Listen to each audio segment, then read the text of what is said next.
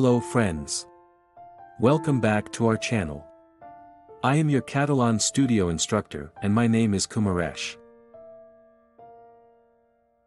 Thank you for connecting with us. Hope you are doing well.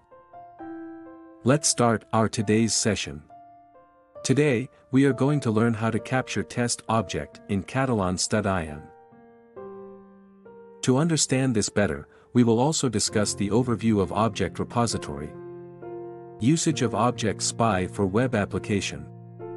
And capture objects from the test application to create Object Repository in Katalon Studio.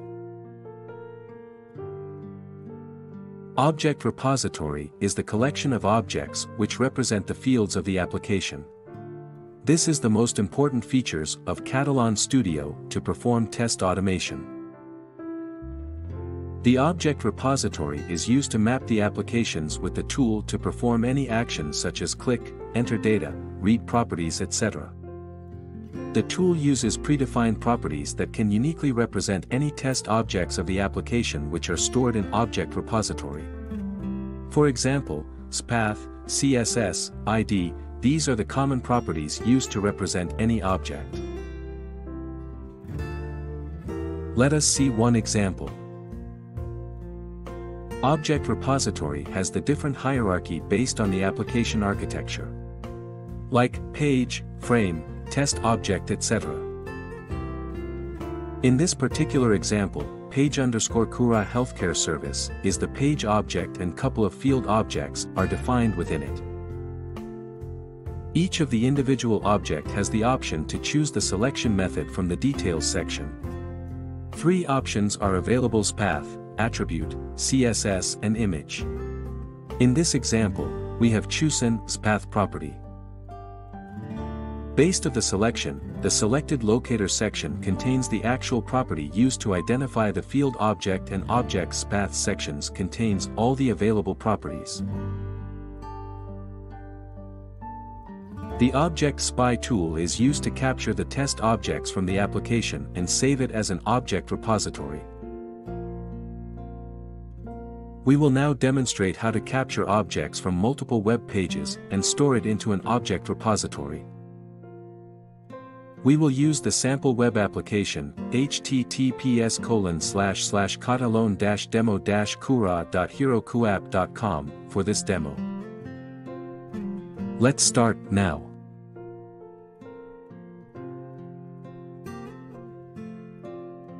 To open the Object Spy for web application we need to click on the option Web Spy, which is available on header section. We will now enter the URL for the test application. For demo, we will keep as it is. Click on down arrow button beside start to open the menu to choose the appropriate browser. Navigate the desired object, make appointment, in the application and right-click on it. Select the Capture Object option to load this object into Object Spy Wizard. Double-click on the newly captured object to show object properties and selected locator. By default, XPath has been chosen. Click on Verify and Highlight button to cross-check the correctness of the captured object. If required, we can change the selected properties to make it more robust. After clicking on Save button, different option for display name and path of the object repository should be appear. Click on OK button to proceed with object repository creation. Now, click on Make Appointment button in the application to proceed to next page.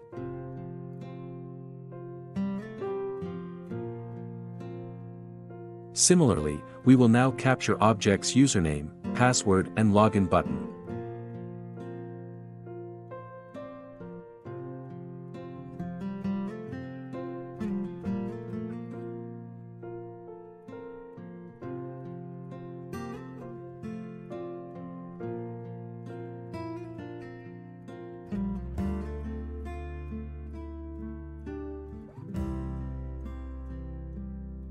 Once, all the three objects are captured, objects will be available in Captured Objects section. we can cross-check the objects by clicking on Verify and Highlight button. Click on Save button now. Here, the object A underscore make appointment is showing in red font as it's presently not available current web page. So, no need to worry for this. Only the newly captured three objects will be added to the existing repository. Click on OK to complete save. Now, manually enter the valid username as John Doe and password as ThisIsNotAPassword, which are shown above in the application. Click on Login button to proceed into the Make Appointment page. We will only capture the web element, Make Appointment, object from this screen. This object can be used for page verification purpose later we can verify the newly created object from Object Spy screen.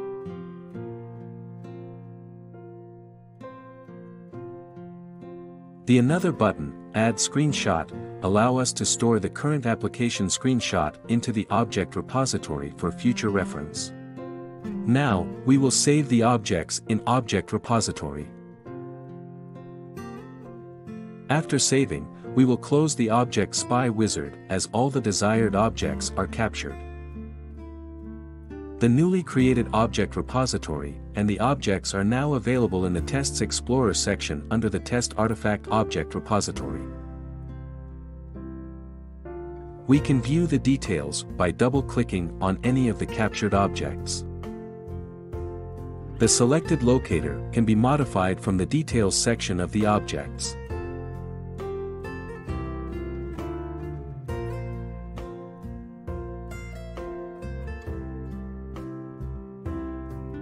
Thanks for watching this video.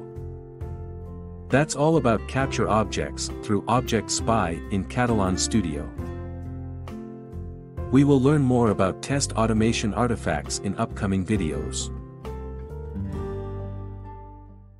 Please visit our website lambdageeks.com for more articles on technology, engineering, mathematics, and various other domain. You can check our other website as well. We have features like YouTube Trends, Twitter Trends, Scientific Calculator and many more other tools. If you like our video, please like, comment and share. If you have any questions, please comment and we will resolve your query.